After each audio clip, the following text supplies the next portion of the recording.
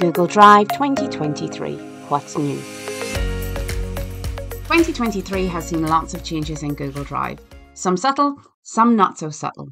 Let's take a moment to take a look through some of the big updates from this year. May opened with a small update which added additional sort functionality to folders in both List and Grid View. As a default, folders in Google Drive will sit at the top of the interface, sorted by the selected criteria. Underneath the folder structure, individual files will appear as a group, also sorted by the selected criteria. Of course, existing functionality in Grid or List View allows for sorting by file or folder name, by files last modified, files that I've modified, or files that I've opened recently. Now, from the hotdog menu on the right hand side, we can choose to sort files and folders together or to retain the upper folder structure. If a user chooses the mixed option, the selected sort criteria will apply to both files and folders equally and the view will be mixed. I'm happy to see this small update. It gives more personal customization within Drive for those that want to use it. Next, another simple but elegant function update, the Access Request Indicator. Have you been in a meeting and shared a file to a group, only to realise when you see access request emails afterwards that some collaborators were unable to see the file.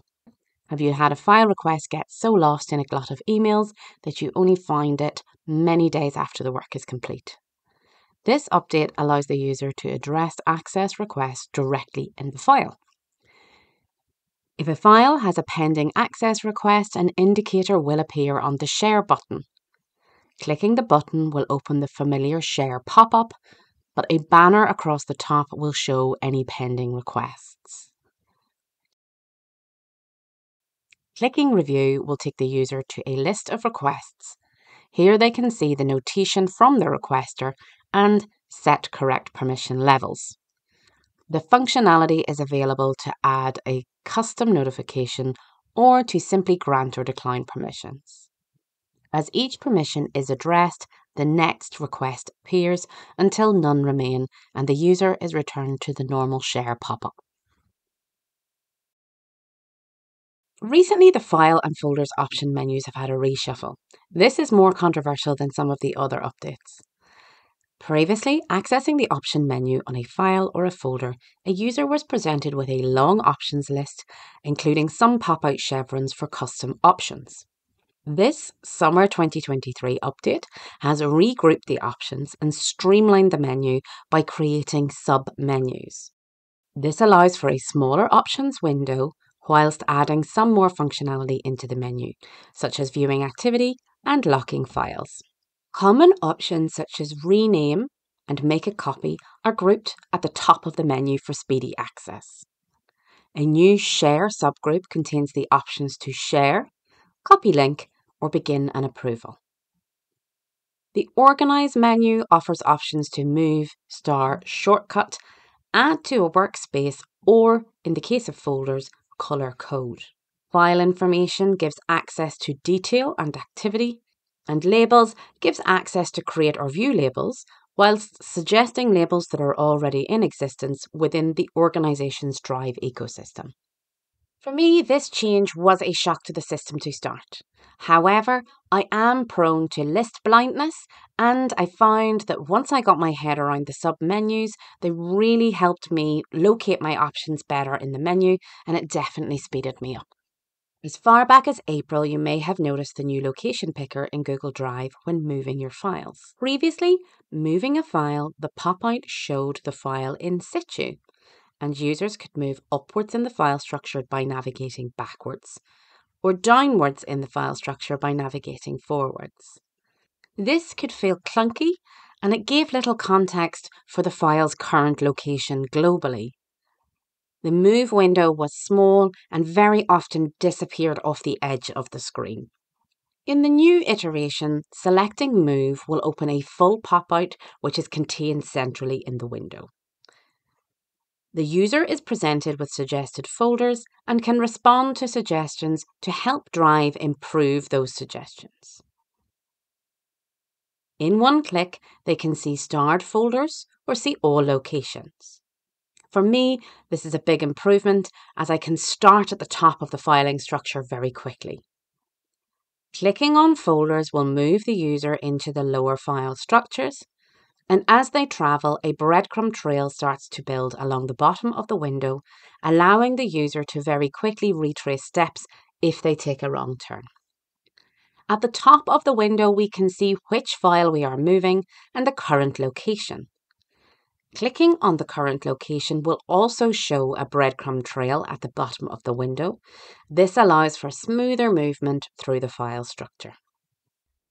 The April rollout may have slipped by you if you tend to move your files using the Move icon in the file itself. However, from September, this Move icon was also updated to the new location picker. It definitely took me some time to get used to this change. It was an imperfect function to start with. Initially, I find it very hard to acclimatise to the new picker, but now that I have had the opportunity to play with it and understand how it works, I do think this is a valuable function update. September also brought the lock function into the options menu for files. We've seen the lock function previously as a result of a completed approval process within Google Files. Now it is accessible from the File Information section of the File Options menu. Once selected and confirmed, a lock icon appears next to the file title in Google Drive.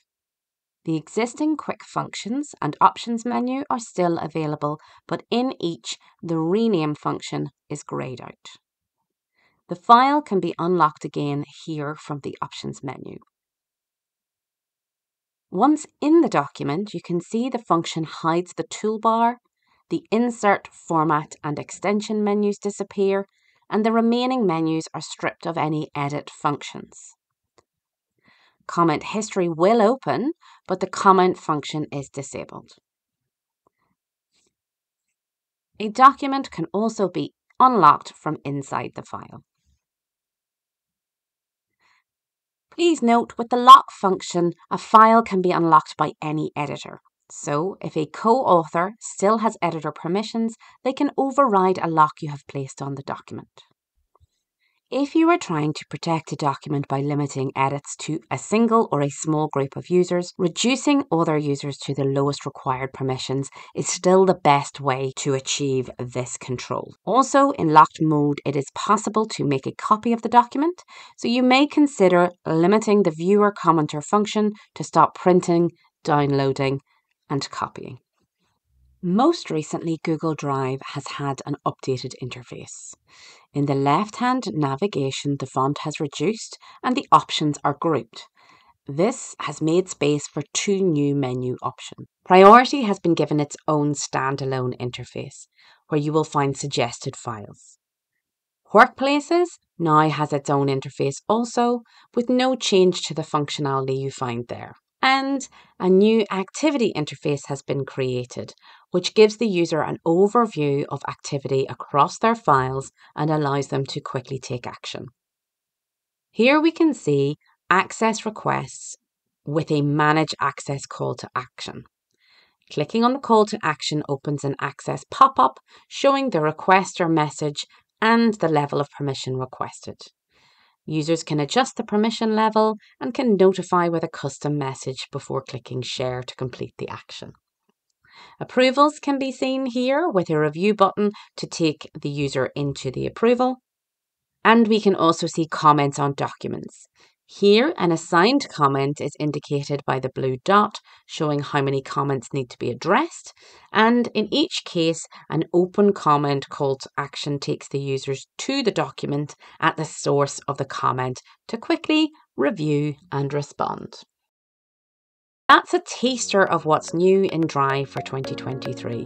That's without looking at updates to mobile device users and some of the admin functionality which came online this year. Perhaps we'll take a look at that in another video, but until next week, see you then.